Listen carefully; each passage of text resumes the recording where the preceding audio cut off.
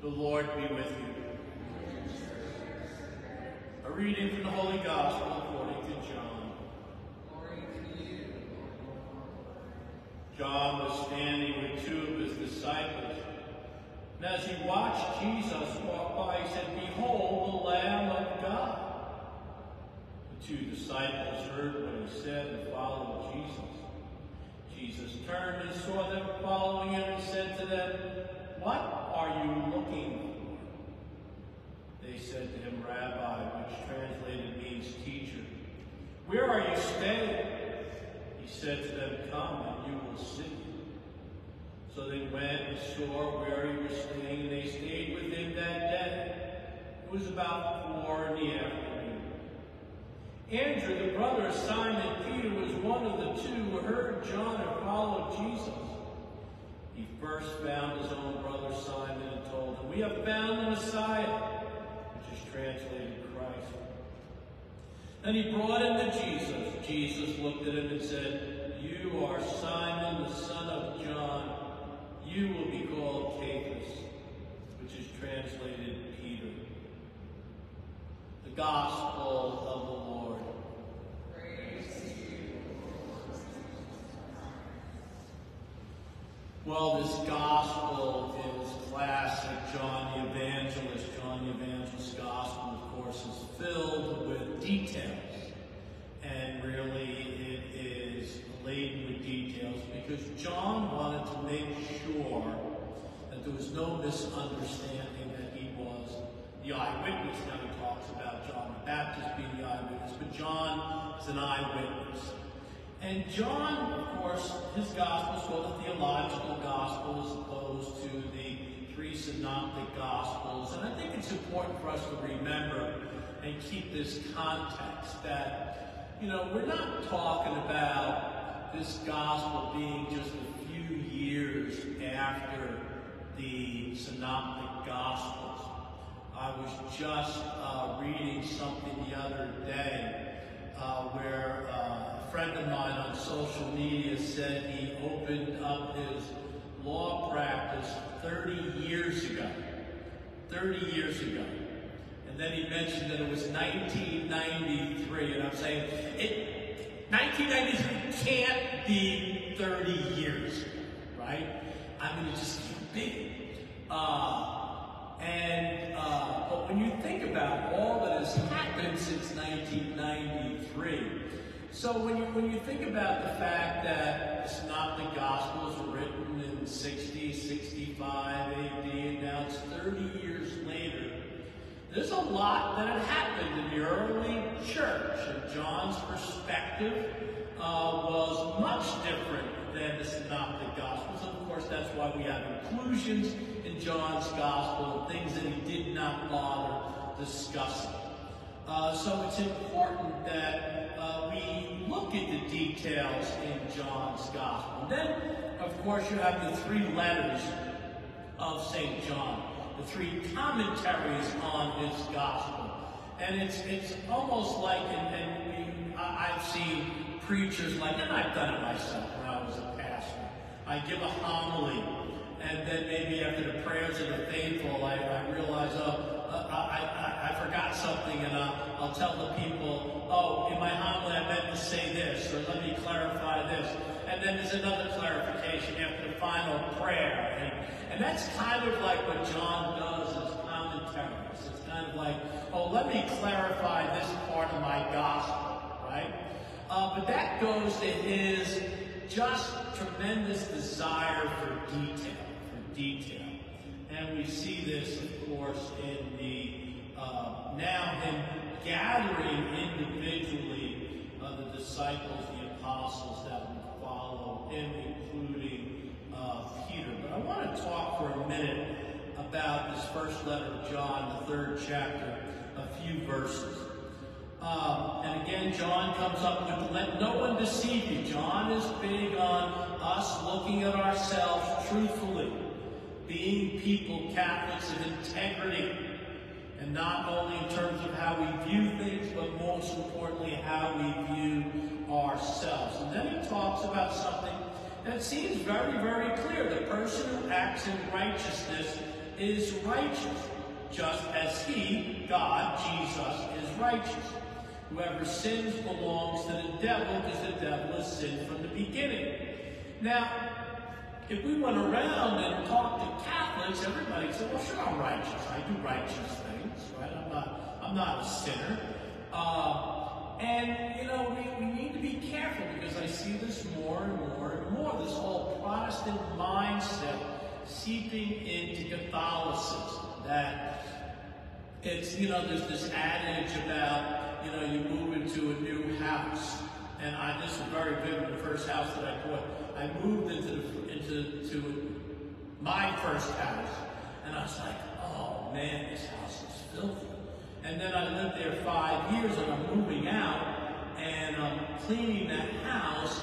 It dawned on me halfway through cleaning the house, I said, man, this house is as dirty now as it was when I moved in. It's just my dirt. And I was living in my dirt, right? couldn't live in the other person's dirt, but I can live in my own dirt, right? And this is kind of like the way we view things. And it's very important, uh, especially as we begin this uh, uh, calendar year, to really look at ourselves and say, what does it really mean to be righteous? But if we went line by line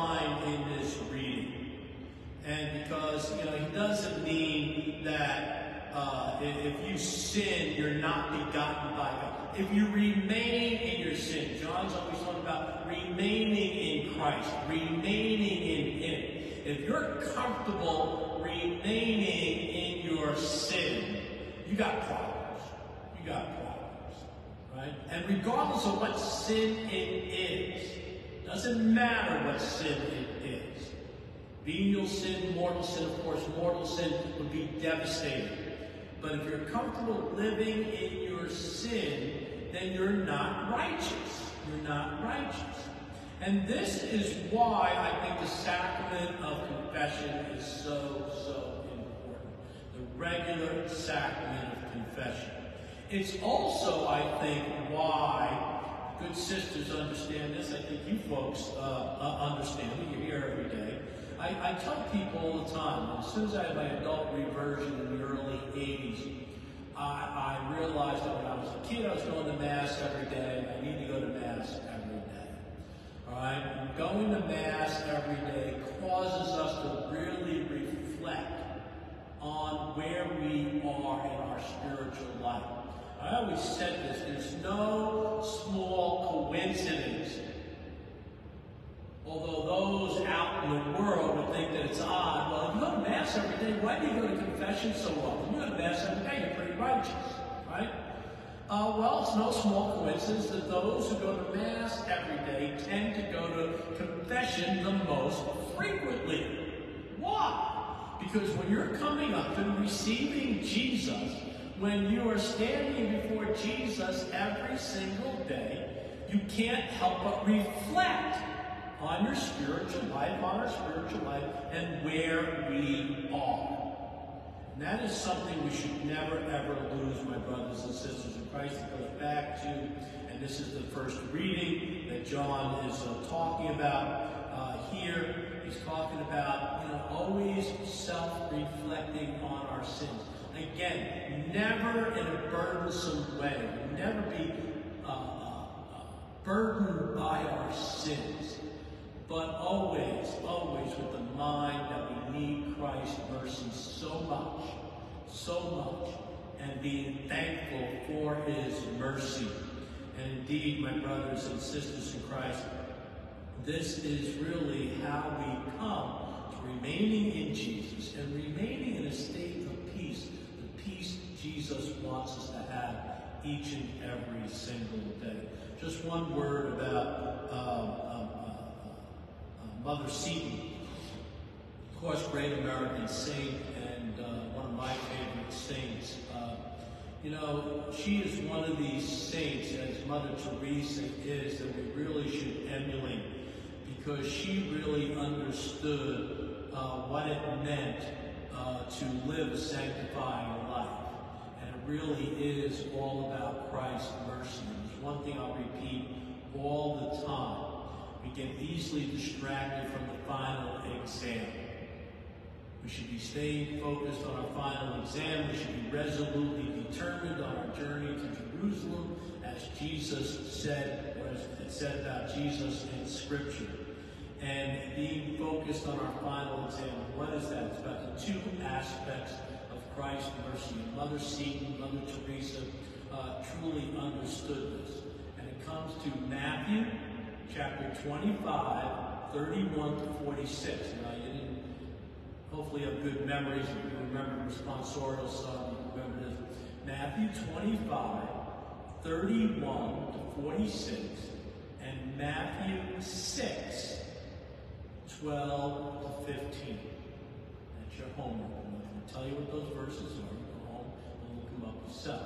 25, 31 to 46, 6, 12 to 15. Focus on those in your spiritual life when you face the final exam.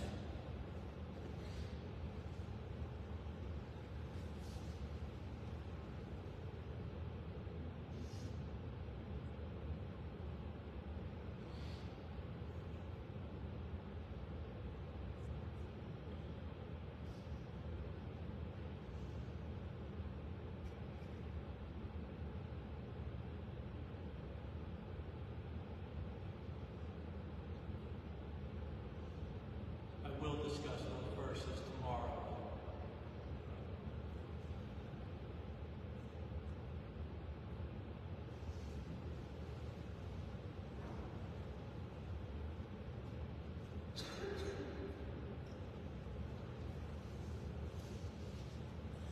Rejoicing in the love of our God, let us pray. For all missionaries who give up everything to bring the gospel to the ends of the earth, we pray to the Lord. Lord And every nation on earth will adore the Lord and abide by his law, we pray to the Lord. For an end to violence and for peace in our world, we pray to the Lord. For all prisoners to know the freedom, hope, light, and love that is theirs because of the babe of Bethlehem, we pray to the Lord. For the grace to bear witness to Christ to our family and friends and all those whom he has brought into our life, we pray to the Lord. And for the holy souls in purgatory, we pray to the Lord. For an end to the conflict in Ukraine and Israel, and for peace to reign in this country throughout the world, we pray to the Lord. Loving Father, we trust in your loving mercy. We beg you to hear our prayers and answer them in accord with your holy will through Christ our